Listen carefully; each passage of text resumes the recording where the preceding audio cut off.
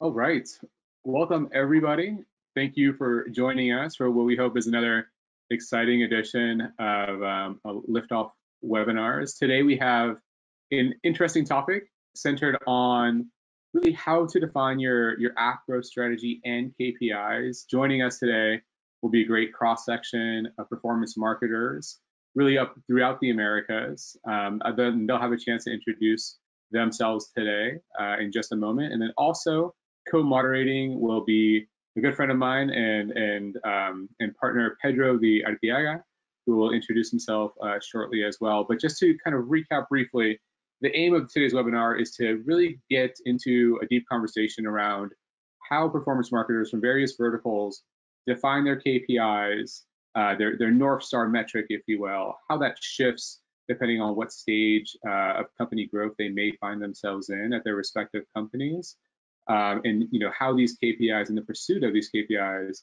potentially change from channel to channel. So hopefully it's a it's a valuable discussion, and um, you know the the audience today is able to pull some great lessons that they'll be able to put into practice um, by the end of the webinar. So without further ado, um, I'd love for each of the panelists and, co and our co-moderator uh, Pedro to turn on their cameras and audio at this moment. I'll give you all a chance to uh, to introduce yourselves. But in addition to introducing yourselves, I'd love if you could also share with us one sort of new hobby or habit, if you will, that maybe you've um, that you've picked up during this time of quarantine that we're all going through, uh, just for to share with the audience and, and give them a, a, sense into into your your personal lives. So we'll, we'll go ahead and, and, and add that to our introductions uh, as we go around the horn here.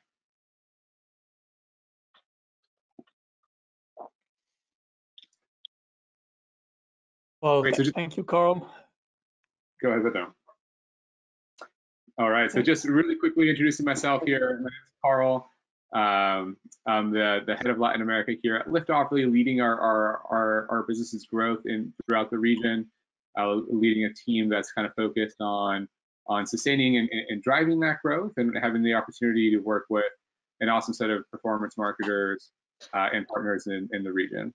Uh, one quick fun fact about myself, a new hobby that I've been picking up, if you will, during this time of quarantine is I've gotten really nerdy about barbecue uh, during this time, watching hours and hours of um, barbecue content on YouTube to kind of fine tune that craft. But that's one uh, one thing that I've been doing with this extra time during during quarantine.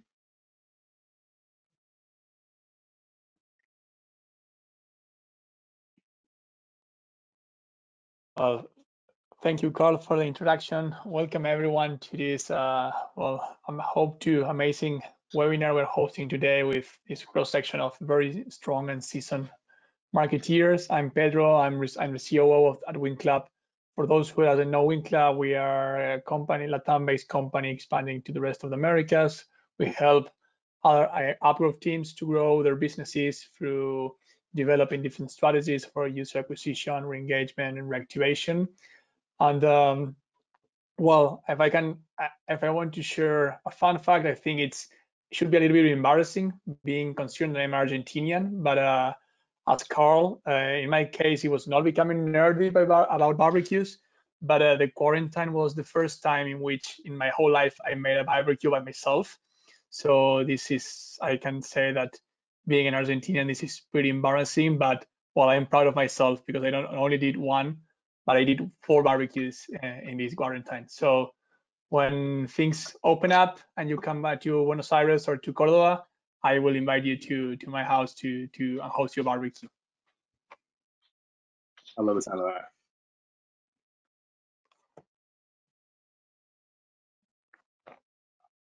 Hey folks, uh, I'm Vivek Girotra here, currently leading growth at Elevate Labs. Uh, this is a company that focuses on mental fitness. And we have an app called Elevate, which is a brain training app uh, that's know, been around in the market for a while, and also a new meditation app uh, that's been getting really awesome reviews lately. Uh, so myself, I've you know, been in marketing for many years, spent some time on the agency side before moving into mobile marketing. And you know, prior to Elevate Labs, I've been at Zoosk, which is a dating app, and then spent some time in the trenches at Machine Zone and uh, Fox Next Gaming. Uh, a hobby that I've picked up uh, during this period is actually uh, day trading. It's kind of an expensive hobby right now. Uh, uh, you know, some call it gambling, but it's it's been very interesting for me to just learn a lot about finance, markets, how things move, and uh, I think it's been a one of the more productive things I've done during this time. Pick up a gambling habit. That's nice.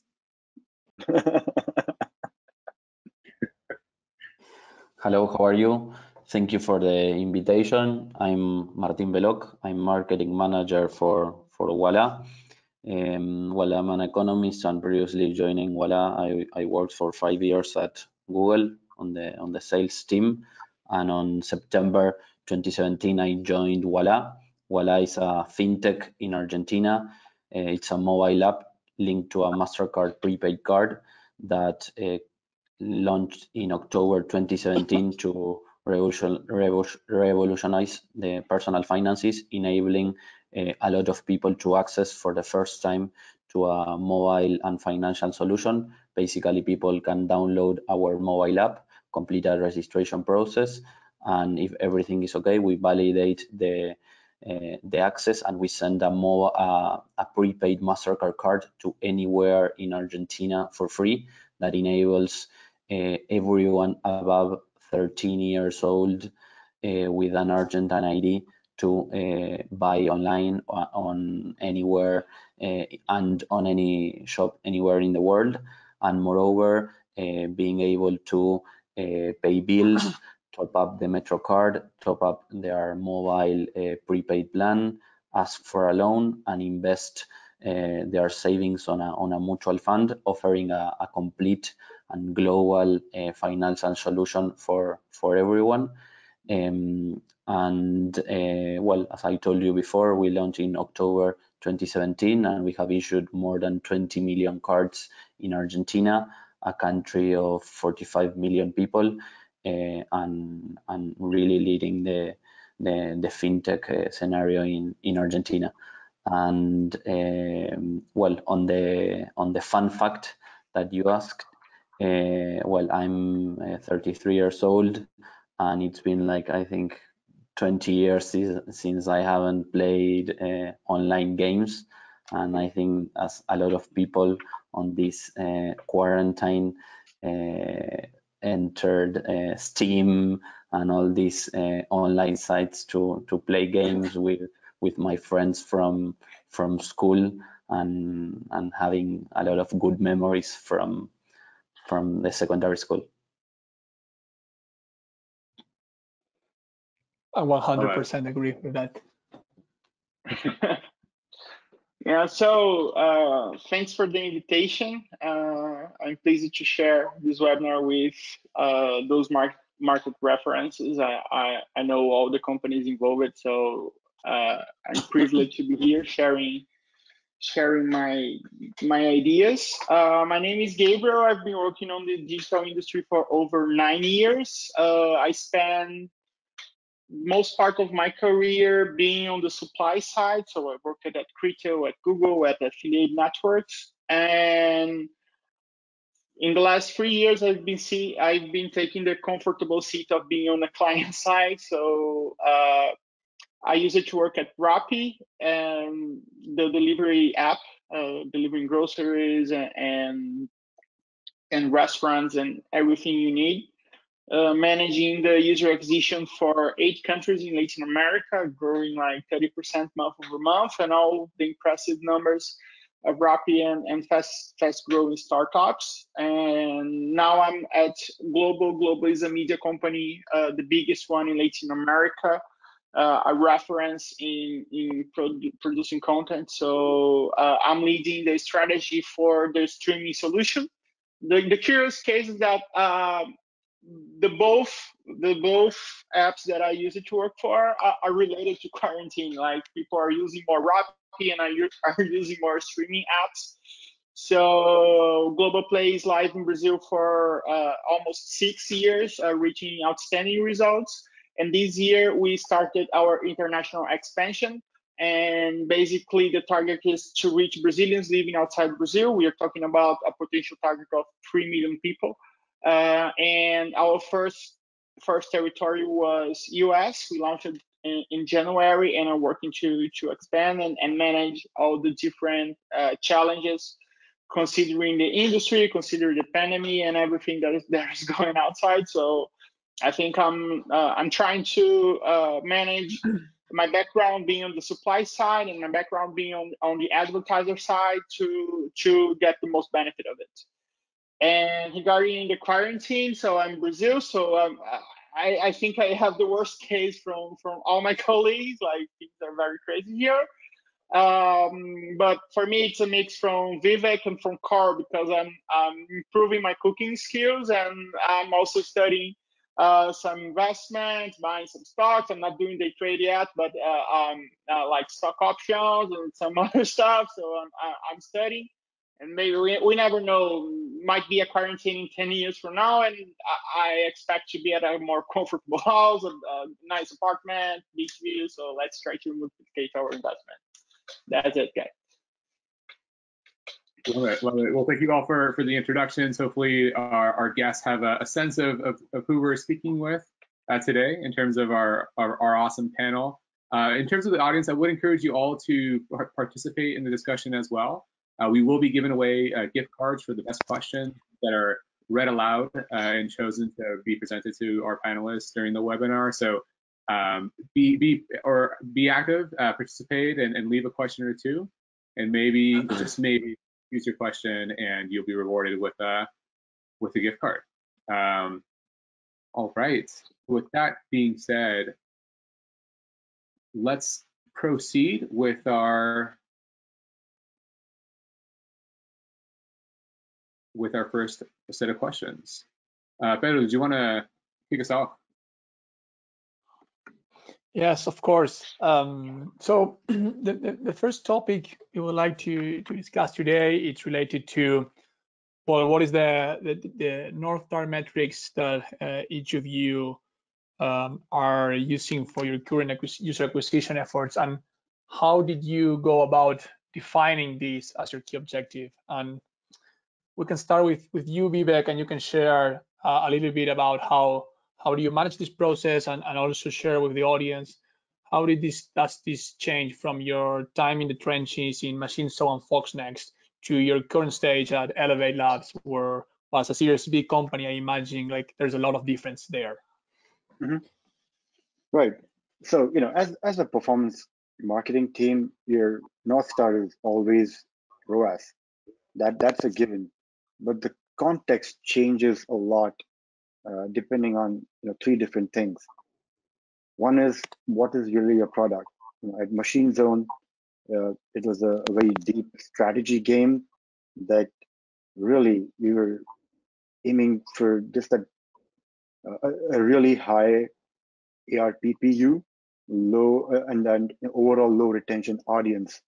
Whereas at FoxNext, it was a mid-core game with the Marvel brand name, so it had a wider mass appeal, but the the average revenue per paying user was much less than compared to a deeper MachineZone strategy game.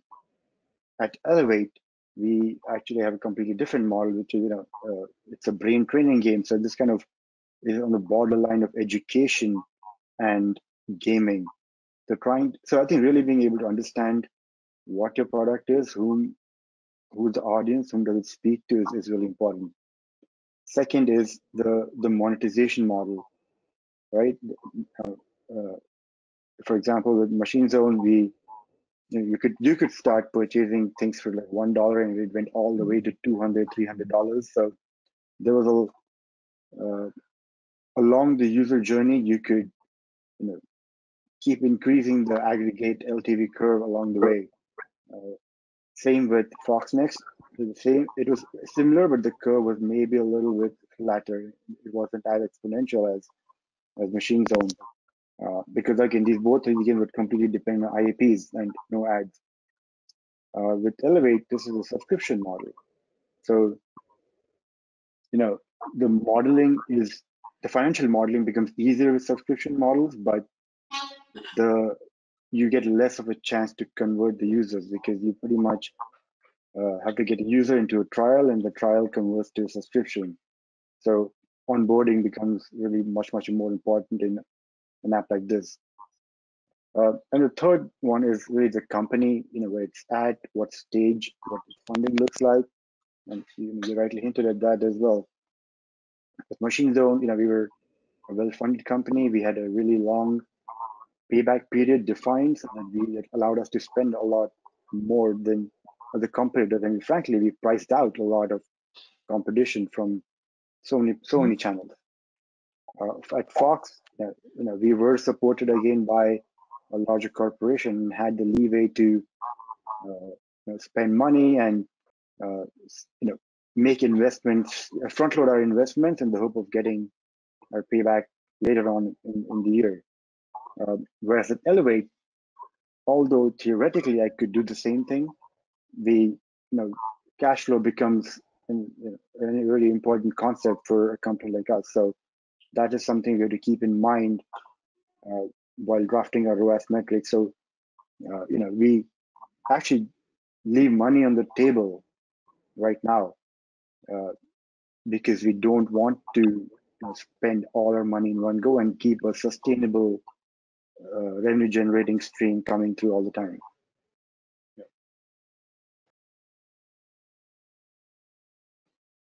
Thank you, Vivek. That, that is uh, really awesome. I think so. Well, uh, you mentioned that you started your, your answer with context is really, really important uh, here. And in that perspective, I think that, well, for you, Martin, since you joined Ualá until today, context has changed a lot in terms of the stage of the company. Uh, you mentioned, well, from 2017, I know Ualá very well because I'm Argentinian too. So I remember the seed stage last December was the Series C how can how does this change in context uh, change your your your North Star metrics for your for your strategy? Yes, uh, since since our launch in the marketing in 2017, we we have grown a lot. As as you have uh, just said, uh, last year we we raised uh, 150 million dollars on a round led by Tencent and and SoftBank, um, and uh, our our financial solution uh, since the very beginning. I, I, told you about the details of, of, our product, and for the users, all all the service that we provide for them is is for free. People can count on on a card and all the financial solutions offered through the app for free. We generate revenue through the interchange fee whenever a, a user pays with our card, and also with the fees related with the use of the uh, bill payment feature, etc. That is uh, that is not uh, charged uh, on the user and also uh, on the interest of, of our loans. Um, therefore, our our growth and our North Star uh, KPI have also uh, evolved on all this time. At the very beginning in, in 2017, 2018, we were really really focused on on growth and, and user acquisition and uh, we transitioned on on 2019 and 2020 to to move more on on user activation um, but uh, I believe that uh, acquisition and, and activation or, or, or, retention are two metrics that are really related and and and at the very beginning when we were focused on on growth we always uh, have a, a, a, look on retention and, and, activation because we realized that uh, the results were much better when, when we focus on, on acquiring valuable users than just uh, any type of users and, and, and then having to to to spend time and, and strategies and, and, and investments on, on trying to uh, to increase retention.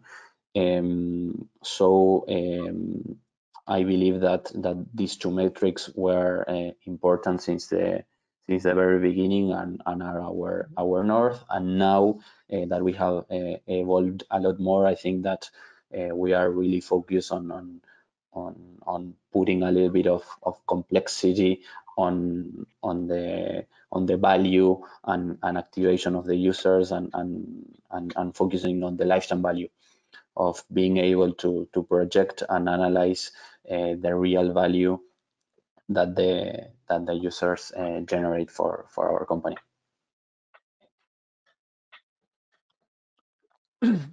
Thank you there. It but re remind us to to to go back again in a couple of minutes to the retention and how this this impacts you in the in the strategy because definitely well we, we all agree here that retention um, it's key factor to grow the company and also not to well to compete and it's part of the of the topic we want to discuss. Before we move there, I would like to to, to learn from you, Gabby, where also your context changed dramatically in the last yeah. year from within Rappi, but also from Rappi to to GloboPlay. How this is this is uh, impact your your your North Star metric? Yeah, well, well I, I, we actually we do have like a sky full of stars, right? For for for the metric, it, it's quite challenging because at the end of the day, everything is related to to your capacity to generate revenue. So, and that impacts, for example, at, the fast growing startup as Rappi, um, how fast we grow, uh, how fast we increase our market share, uh, how fast can we expand to new territories and new countries. Uh, but at the end of the day, you need to generate more revenue. So, um, everything at a startup is, goes really fast and and at a lot of scale and a lot of investments and a lot of changes. So you see uh, you see the improvements and you see the mistake in a very uh, fast way so we can make the decisions very quickly. Uh, or to increase uh, your reach and increase your potential or to manage some damage. So and by changing from a model that is basically like uh, buying groceries and ordering food i changed it to a subscription service for a streaming app. And in, in my case it's more specific because um, I'm launching in a very competitive landscape. So uh, if you go to US market, you have all the top reference on the streaming industry, and uh, and I'm working with any. So the the the bar is very high. Um, considering like user experience, uh, all the experience within the app and on the streaming solution, uh, but also it's a different uh, business model as well. So I changed it from a purchase model to a subscription model. So uh, we we do need to generate revenue, and this revenue is related to uh, my retention rate uh, because I need to keep the user uh, engaged and consuming my content and keeping being a subscriber. Uh, and I work with niche audience that is also challenging. So for the international expansion of GloboPlay, we launched it from ground zero. So I had no background or no benchmark on how to understand or calculate and measure, and, and, and I had no, nothing to compare. So of course we had the numbers from Brazil. We did a lot of research, but at the end of the day, you, you only know when it goes live. So it's quite challenging because I have a seven day trial period, and then I need that user to keep the subscription, and that subscription must keep uh, generating revenue uh, on, on a lifetime. So it changed a lot uh, the scale and the business model, uh, but it's uh, as challenge as, as challenging as it was. Awesome, thanks for that insight, Gabriel. We'll move on to, to the next main question here, and so digging a little deeper into, you know, how do you how do you set targets for this metric? I think each of you has shed some light on what your North Star metric is you know, for uh, for the various companies that you work with today and have worked with in the past. And that kind of ranged, or that ran the gamut from sort of like ROAS to growth to retention. Now, when when, when you're actually defining this metric um, for for your growth efforts, how do you how do you really set a target, you know, quantitatively for a for a growth metric or a retention metric? But I mean, we'll we'll start with you. I know you you, you shed some light on kind of how the KPIs have evolved from from your end at Uala, from you know starting on a growth oriented sort of mindset, moving over to like more of a retention slash activation mindset. You know, how do you set targets for for metrics that would define whether or not your your growth efforts are successful against these these shifting sort of north star metrics? Yes. Um, well, I think that some something that that we have always in in mind is uh, ARPU, LTV, and on a company that evolved on growth and where we launched uh, a product that was uh, simple on 2017 and on on all this time we keep on adding new features like loans, investments, and and our product is is totally live and we are constantly adding new features that uh, tend to bring on new new revenue streams.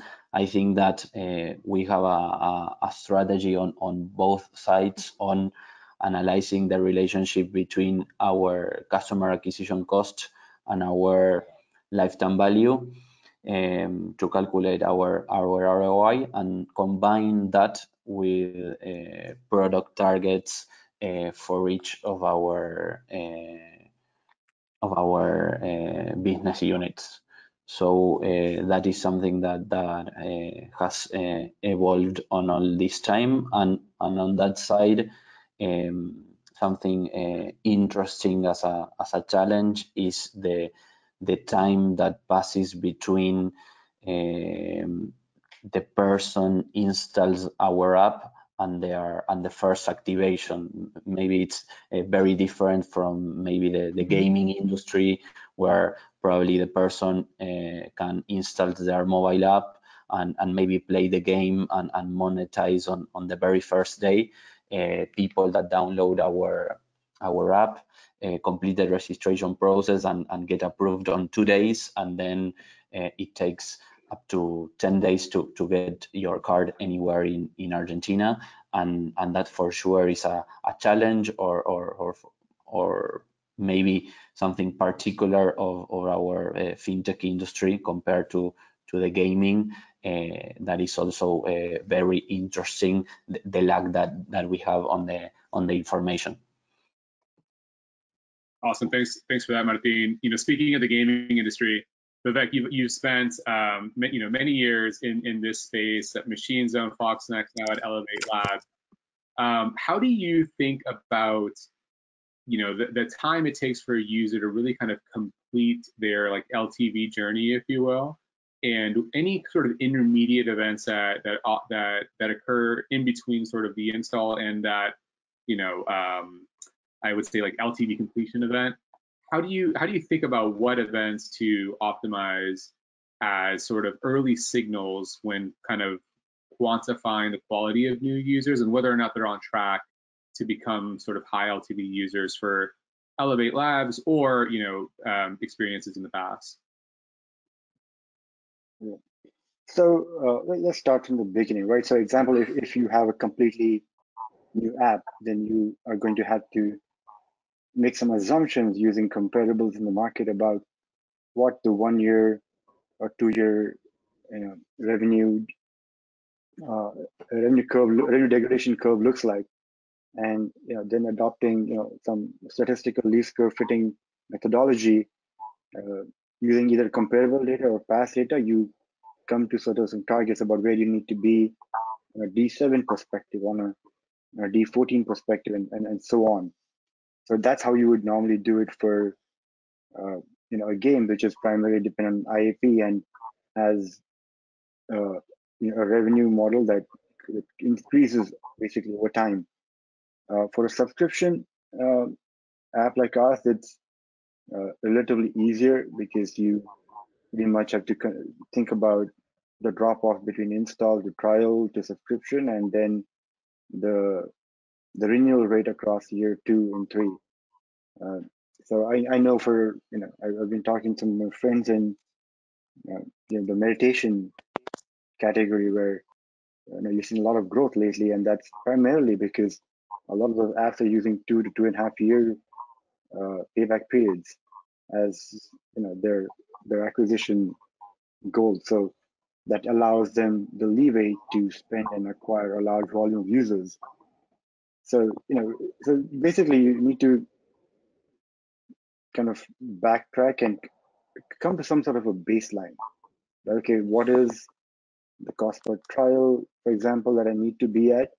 And once you get that, then you can adopt you know, some more uh, scientific based scientific methods to come at events. So uh, currently we're working with Google on, on this project, which you know, they call feature selection.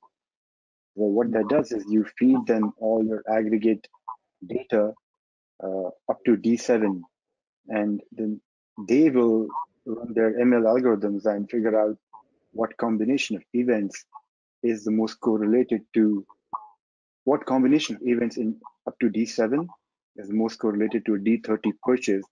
And then internally, we can generate a server-side event based on that combination and use that as uh, an, an, an event that the buying models can optimize towards. So, so it's really important to kind of figure out what category you need to play in, backtrack to from a baseline, and then test and improve from there.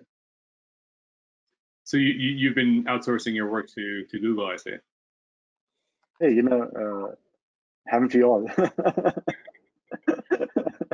no, that's a great point. I mean, often, just uh, anecdotally, often a lot of performance marketers, it, I think a lot of people struggle with finding sort of like the combination of intermediary events that are great signals for them to optimize towards, or the single intermediary event um, you know, that's going to be very helpful for them to to optimize towards when they have, you know, so many ones to choose from. And sometimes the answer isn't as simple as, you know, you know, this very specific event because the user experience isn't isn't on rails, if you will, uh, for for some for some marketers. And you know, it's it, it, the there's really just a large selection of events to choose from.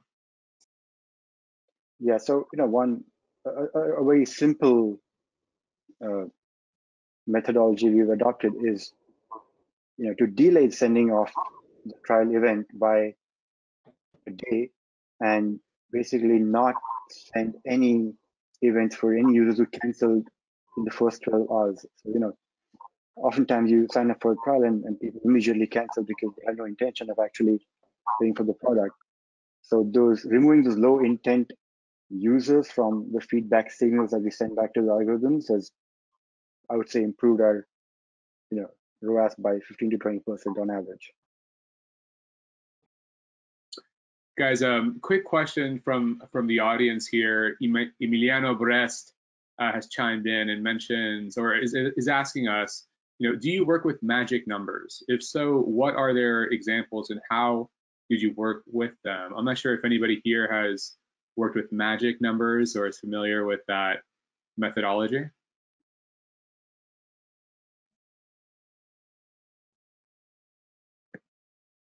Nobody? Okay. Well, Emiliano, I um, tried. I tried, but it seems like magic numbers might not be a, a tactic we've uh, the, the panel here has has used, unfortunately. Uh, but thank you for the question, Emiliano. How to find out which are the magic numbers? Maybe yeah. there are. Yeah, there. let's put on on Vivek day trade strategies the magic numbers. Thank you for the question, Emiliano. And for the rest of you in the audience, if there are any additional questions you'd like uh, for the for the panel to address, please surface them in the in the question section. Uh, but continuing on, I'll pass it back to, to Pedro for our next discussion. Yeah, follow follow on the, the discussion. I, I want to go back to something you mentioned, Martin, in your in your in your strategy today. You have the challenge of coping with ROI objectives, but also you have product objectives uh, different products that you're launching all the time how do you how do you cope or how do you cope with having two different targets at the same time for for your strategy? And also like how does this impact you your your different prioritization efforts and where you put your your focus? Yes uh, i believe that that uh, we have very we offer a, a, a very wide financial financial solution uh, of card payments, loan, investment, and we have very clear our value pro proposition for different types of, of audiences, where uh, for some of our audiences and targets, one of our solutions is the best one, and for other audience, uh, they are more uh, prone to use another one. So one thing that we have um, very clear is which is that feature that that leads to to activation and leads to, to retention and, and, and, and good growth. Uh, Mhm. So I think that that is our our focus on on being very aware of uh, which is the our value proposition and feature that fit best for for a certain target and try to to track on on that.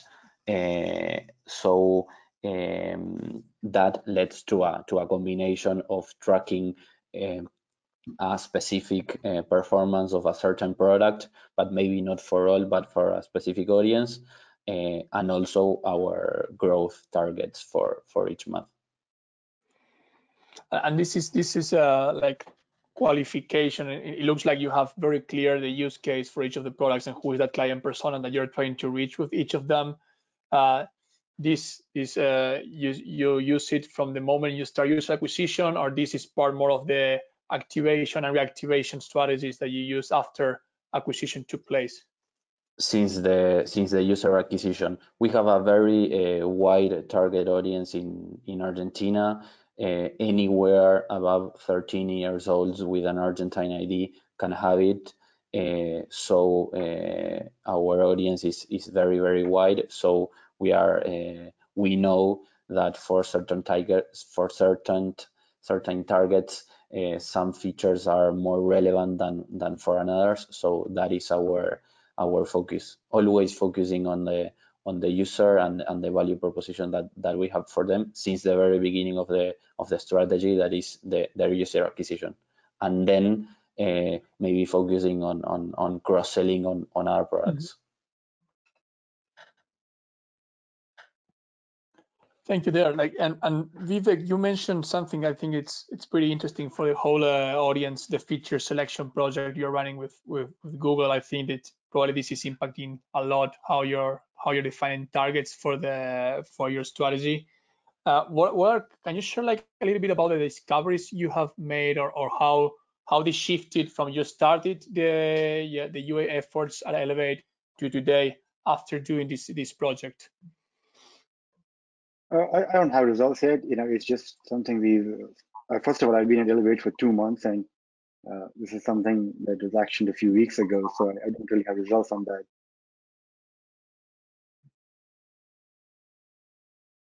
You have done a lot then in two months.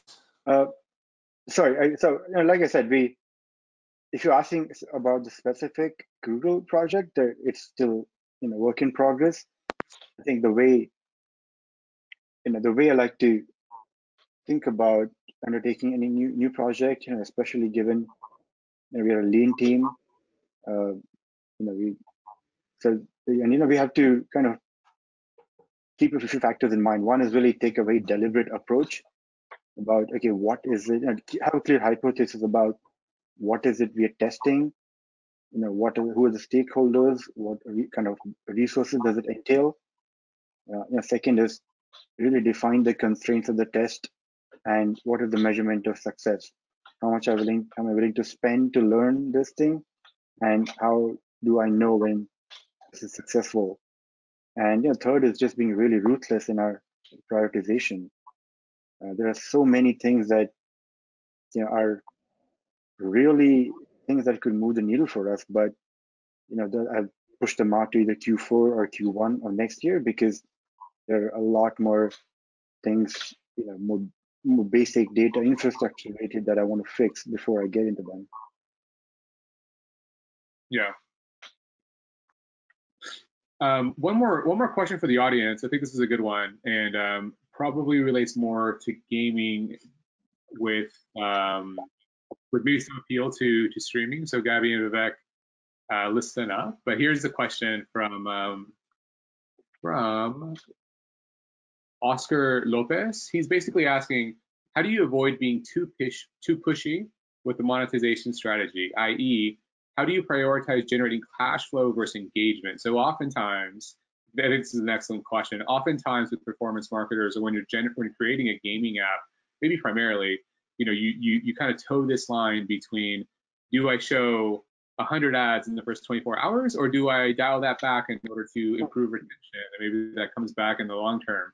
Uh, Vivek, you probably have some hands-on experience with this, uh, or really any of our panelists. Anybody want to give this a shot for for Oscar here?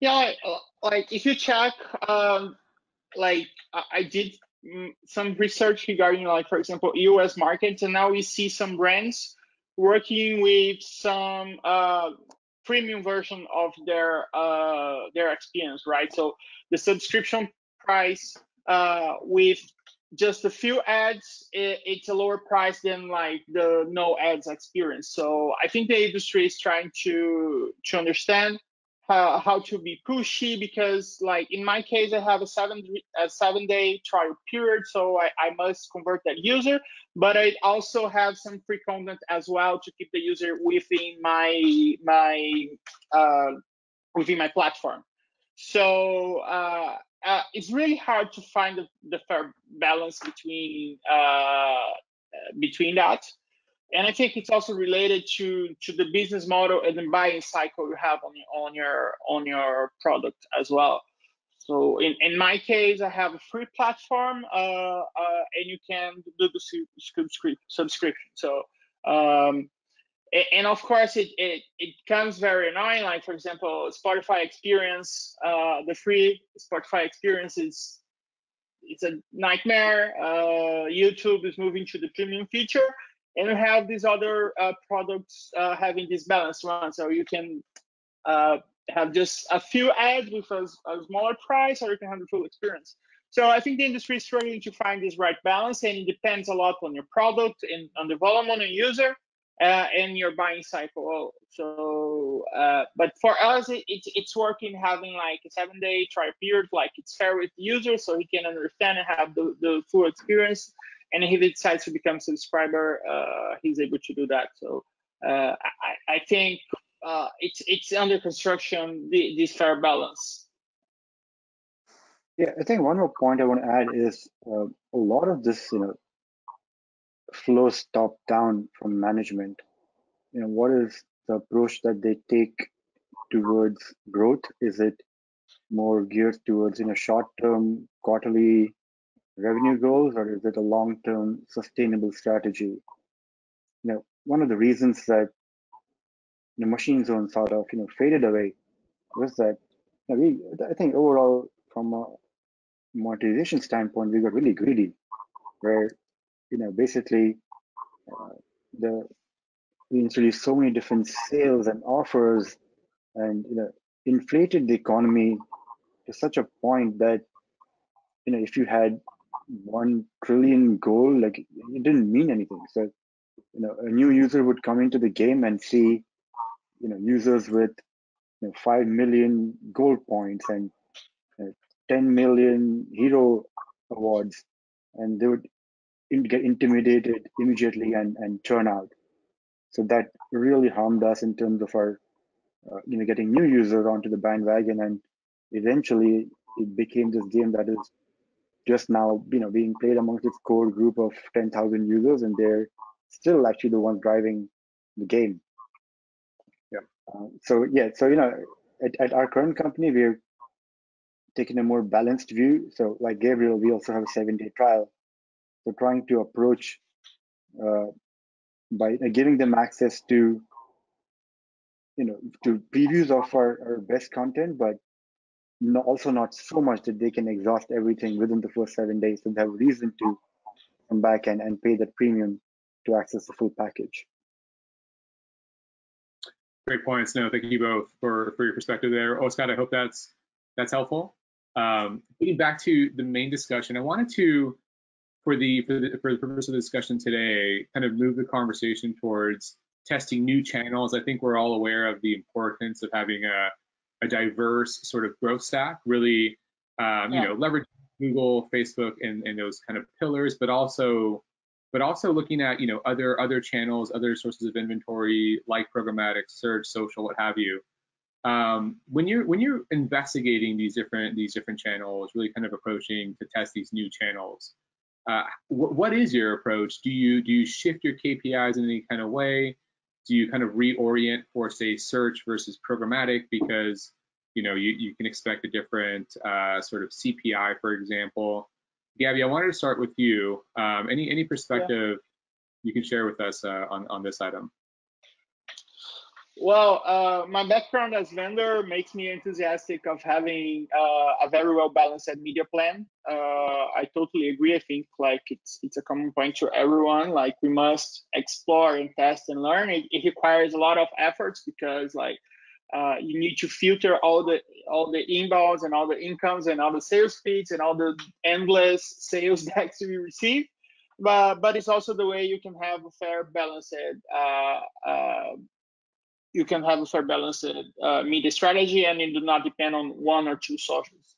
Uh, I think this is healthy for the market, it's healthy for the business and for the advertiser. So uh, the question is how, how, you can do that. So, uh, uh, well, it's not a fair answer, but like it, it depends. Uh, at, at the company with the size of Rappi, I, was responsible for eight countries with different competitive landscapes, with, with different expertises, with suppliers with an expertise uh, for Mexico, uh, with specific suppliers for Brazil. So I need to have this uh, this open view uh, to build this strategy. And for GloboPlay, uh, in my case, for example, um, I work with niche audience. So I'm targeting Brazilians living in US. And I can't do that by like I can't I can't buy programmatically if that is not very accurate because I can't spend a lot of money first because like uh, I, spending in dollars like comparing to Brazil it's a lot of money uh, and second because if I'm not accurate like if I'm targeting uh, Americans if I'm competing with Netflix for example that makes absolutely no sense.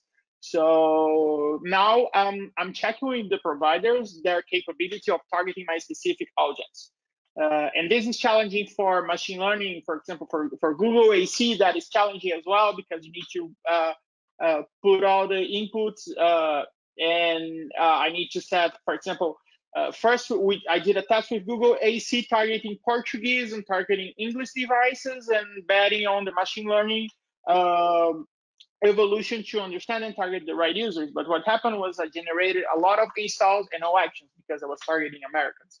So now for my perspective i'm trying to find the right sources with the right capabilities uh, to target my niche audience. And that covers for example apple search strategy and even for apple search uh, by uh, by setting the keywords i'm i'm, I'm bidding for. Uh, i must have feeling to bid only for keywords that brazilians would look for. So i'm not bidding competitors i'm bidding uh, brazilian content i'm bidding my own bidding my own brand so I'm I'm doing this kind of optimization, and like you don't see in the market a lot of providers with that capability. Like a lot of like uh, if you have a very well-known brand, they just spread ads everywhere, and the result becomes somehow. Uh, but that's not my case. I must be very accurate on my tar my target. So now, uh, basically, I work with the provider capability to do the targeting and of course, we allocate a dedicated budget. We certificate uh, that we're measuring that properly and how that impacts on the funnel. And uh, and that's basically uh, what I'm trying to do. Awesome. Thank you for that, um, Gabby. Vivek, just briefly, I wanted to tap you as well. I know you probably tested maybe dozens and dozens of different channels and partners sort of what's your approach at a high level when testing new channels, new partners? How, if at all, do you shift your KPIs uh, in order to evaluate those uh, the fit of those uh, partners into your growth stack? Um, so, so there, are, you know, three primary filters I look at, you know, in testing any new channel. One is what is the value add, right? Does this uh, is this channel like is, is this a gatekeeper to some sort of inventory or do they offer some sort of a, a, technical layer that can add some sort of value to how I can reach users? Uh, the second is the scale, right? Like, you know, if, if a channel is a long tail publisher that can get me about 100 odd installs a day, it's honestly just not worth the effort to reward ratio for us to kind of you know, take on the overhead of managing a channel like that. So scale is extremely important to us, and especially as a company, we're in 2020 looking to double our revenue from last year. So we have very ambitious targets. You know, and we need partners who can help us uh, scale up accordingly. Uh, and the third one I would say is you know, technical sophistication. I think you know partners that have reporting APIs, uh, you know that can integrate with our dashboards, with our MMPs, uh, they will always have an edge in terms of uh, us choosing to work with them because it just makes things so much easier for us in order to uh, you know integrate everything into our dashboards and have it feed into uh, all the data sets that we look at every day anyway. Yeah.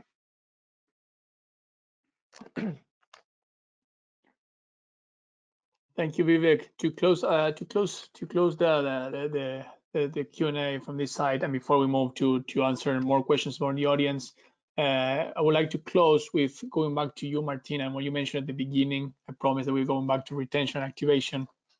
You mentioned there you you were always had in mind and, and in place some activation loops and retention loops.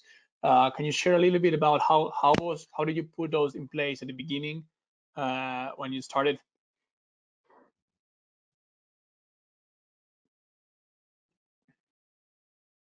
Sorry, I was muted. Uh, yes, and, and let me comment something on, on, on the last question related to, to diversification that I think it's it's key and and and in terms of the of the KPI, I think that the, that the KPI for the different media for us is is always the same. The thing is that maybe you can be a little bit more flexible on the results on on a certain KPI for for new media that you add to your to your media mix with this objective of of diversification um, that Carl pointed uh, before. I think that that is uh, key. And when analyzing this diversification, I, I totally agree with with Vivek in terms of of watching the the the the quality of the media that you are adding to your mix and the and the potential uh, of growth and and the ability to to become uh, one more uh, one media more on, on your set of, of media sources and, and adapt to your to your strategy and not having to uh, totally change your strategy for for this new for this new media. So um, i think that you must uh, uh, leave room for for test and learn and have diversification as a as a north star on the media and also on on on Google and, and Facebook. Maybe sometimes we put uh, Google or, or Facebook on, on at the same level, but inside those media you can have diversifications in terms of platforms, YouTube, search, display, formats, uh, etc. I think uh, diversification is uh, a KPI for for itself inside media and across uh, media. So um, also answering your question in terms for, for, for retention, I think that as I told you before, um, user acquisition and, and retention, I think that cannot be uh, separated. They are both parts, both sides of the of the same coin. Uh, it's not. Uh, it, I, believe it's not a good strategy of, of thinking uh, a strategy for user acquisition and another strategy for user retention, or having a uh, separate teams that uh, that focus on on these two strategies. I think that the that the north star for for a company is trying to uh, match the the value proposition uh, it has with the the users, and and that is uh, achieved when when you think on on the long term and trying to to really uh, show an ad for going to the most basic thing to the to the person that uh, it's more likely to to become a, a user or, or, a client for for a long time. Well said. Amazing. Okay, well, with the final five minutes that we have, or just about, uh, we definitely wanted to open up to the the audience here. I see there's some questions lined up. So go ahead and kind of try to get to these as, as, as quickly as we can. We'll try to briefly address them and maybe we'll get through a couple, uh, the couple of minutes that we have left here. Um, but let me see. This is a bit of a dense question from Samuel Balcon asking, I'll try to read it out loud here. Says target audiences value proposition or product slash service differentiation based marketing strategy and tactics. Uh, what works best, or is Facebook ad campaign zip code option under location targeting still the primary play? Um, that's a lot. I think basically what someone is asking here is, you know, is is there are there better alternatives to to for performance marketing um, when looking at you know a Facebook ad campaign and its levers to kind of go hyper local, you know, target, use all all the levers that Facebook has has at at, at their disposal. Um, you know, is that is that basically the bread and butter play, or are there other methods or other other sort of um, uh, products or services that we can use as performance marketers instead of you know Facebook? Anyone's worth considering.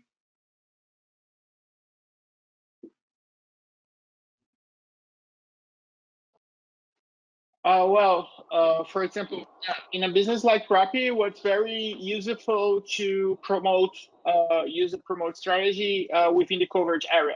So user location target, like zip code, like I, I must promote where I have covered. Otherwise, I'm, I'm wasting my money. So it depends a lot on, on the product and actually on the target you need to reach. So uh, if you're a digital product that it doesn't matter where you are, uh, you, you can do a broad uh, targeting. If you need to target a like a niche audience, I need to find solutions that can uh, be related to my content or to to my language or to something like that or to, or to my device. So like for for this for a delivery service like Rappi makes sense for you. You, you can do some location, you can use zip code, and you can uh, cross that with your coverage area. So it depends on actually it depends on what why and uh, why do you need to target that audience? Like, why do you need to segmentate and, and then get more from that? So I, I would go that way.